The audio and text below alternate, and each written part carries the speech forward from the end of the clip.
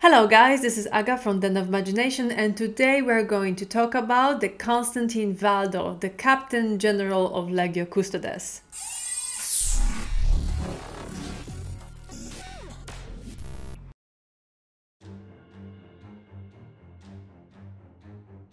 So actually on the model itself, um, the, a lot of things are going on. Uh, we have a lot, a lot of details on the armor itself. Um, very typical for, for Custodes because they have a lot of ornaments, a lot of details.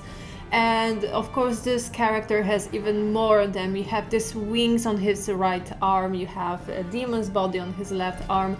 You kind of have to consider it, you know, kind of heavy and he's still moving with it so we are moving with our video too. So a lot of details are really picked up so i they they not really like um, force model down. You don't really see only those details because they are matching one another with colors and with shades and with gradients so they are really working with one another. And i am again impressed about the red cloak because as i mentioned before in the one of the previous videos the red color is kind of difficult to have to accomplish this um, deepness and strain of this color. So you have to put layers and uh, choose other color for a base coat to really have this red like red red. So I really enjoy it especially that the dirt that is um, painted on the uh, downside of the coat does not destroy this red so I like it a lot and of course, these are non-metallics and we have to mention the power weapon that he's holding because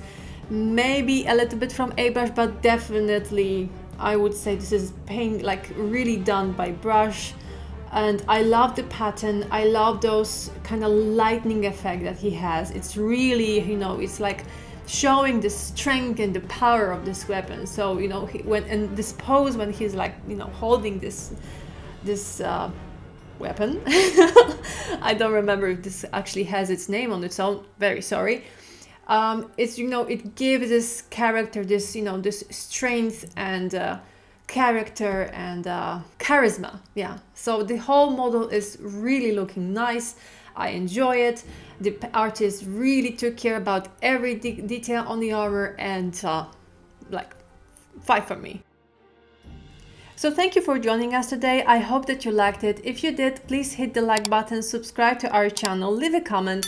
And if you're interested in full quality pictures, please visit our website www.denofimagination.com and I'll see you soon in the next video. See ya!